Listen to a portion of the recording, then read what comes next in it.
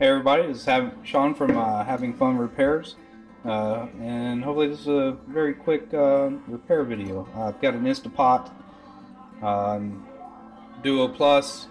We're using the slow cook setting. We have it set on more, and uh, disregard this countdown timer because we keep resetting it.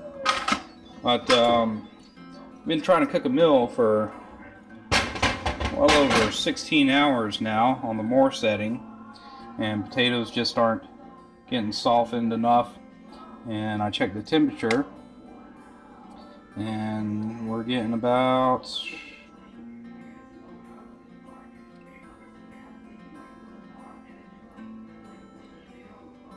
see what it comes up to. 194 degrees Fahrenheit. Probably bounce around there a little bit. Yeah, we'll say 194. Uh, if you look online concerning this, uh, the slow cooker function, the less setting is around 180 to 190. The normal setting, 180 190. Normal setting is uh, around 190 200, and more should be around 210. So it's just not getting up to temp. Um, I'm going to take this food out uh, we're going to let this cool down and we're going to take a look at something. Alright. Got this guy up on my work table. Um, for those of y'all who are interested in specific model number, Duo Plus 60 V2 whatever year that came out with. Uh, this one came out, I don't know. Um, nor the bit of damage on the base. Uh, that is not the reason for the issue that I believe this is currently having. Uh, that was done during shipping, shipping, shipping when we first bought it. And so I checked the internals at that time and everything looked just fine. So it was only cosmetic damage. Could have sent it back, but we didn't. But anyway, so what I think is going on, remember saying there are three uh, temperature ranges. Uh, 180, 190 on low, 190 to 200 on medium or normal, I think. Uh, less normal, and then uh, 200 210 on more. So I'm hoping what I find out when I take this apart, which we'll do here in a second, is maybe there's an issue with one of the heating coils. Or, and I have no clue if there are multiple heating coils or if it's just one wound unit like what you'd see on a stove top. Uh, I just don't recall because it's been a while since I've opened this up. Uh, so if there is, and hopefully we can um, re resolve that issue and then test this out to see if it will uh, produce hotter temperatures from previously shown. So let's go ahead and take this apart.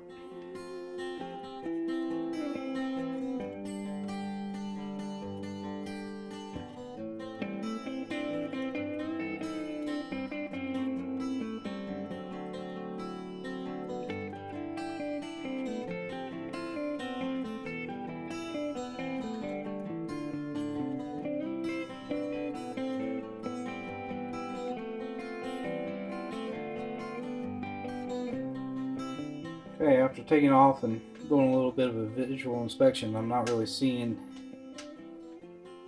any issues standing out at me. Um, you have your main power board here. Looks like it's designed to create 5 volts. Uh, a couple 5 volt rails. Probably a few other voltages. It's kind of funny that the fuse and I think that's a relay. Everything appears to be stamped and rated for 250 volts. Making me think that maybe this was dual voltage. I'm not too sure. Uh, fuse is perfectly fine. So what I'm going to do is I'm just going to check the resistance between certain components and these wires. Now, I'm not just doing a continuity check and ask, trying to see a beep. What I want to do is actually check the resistance. Um, you know, because as this thing does heat up, and I'll be wiggling things around, there's always the potential that there is a maybe small micro fractures in the solder different connecting termination points.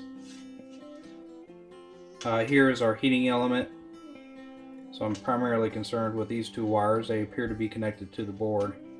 But with a resistance check, I can see the total value of resistance in ohms and then I can move things around at the same time to see if that changes that value. And if it does, then that's potentially our issue. Standoff on this resistor here is pretty significant. So I'm willing to believe that there's a lot of heat dissipation around several of these components. Caps look fine, I don't see anything bulging. Not quite able to make out the brand.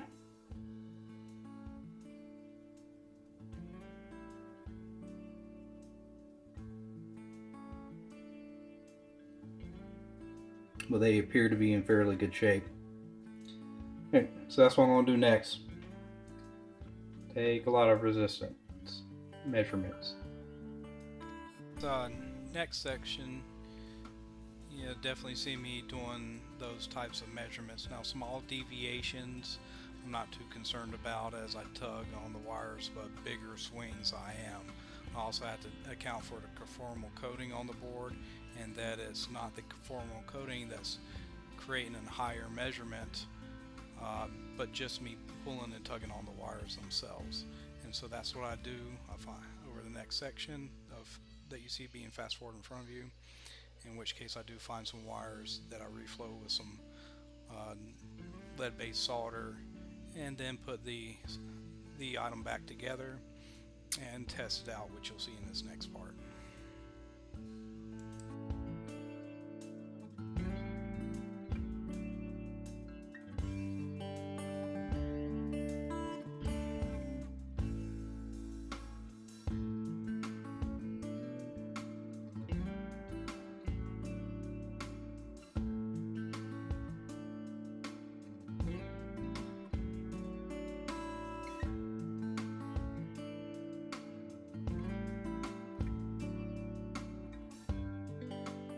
Okay, after putting it back together, I uh, plugged it in, set it to more on slow cooker, and it's been running for roughly uh, two hours. I want to say auto populate six hours up there, and we're sitting at three hours and 57 minutes remaining.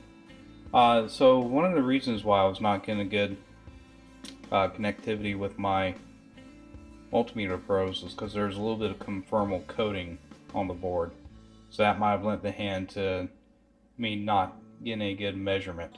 Uh, how, regardless though, um, I went ahead and just put in fresh solder on that circuit board, as you would saw in the sped up section, and we're going to check the temperature to see if that's helped out with the heating element. If not, then the board is working. Um, the only thing I can think of is maybe the heating element's just getting old. Or it's worn out or there's something specifically wrong with it. Alright. So, have this filled up with a little bit of water. And we're just going to take a measurement of it.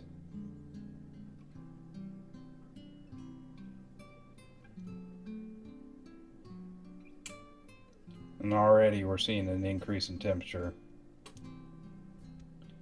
So a little over 200.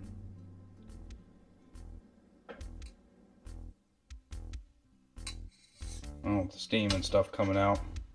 Temperature's starting to go down a little, but we're sitting at 195 last time. Now we're hovering around 99, 200 now.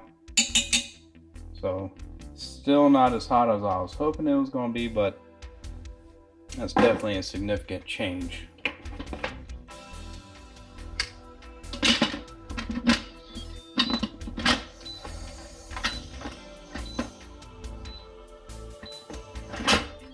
So overall, I'm pretty pleased. I think we'll be able to get food done a little bit quicker again. And although I would say, as far as a slow cooker goes, Instapot, mm, not really designed for that. You know, has that functionality. I'd rather just have a traditional slow cooker. Anyways, if you like this video, give it a thumbs up. Uh, and thank you for your time.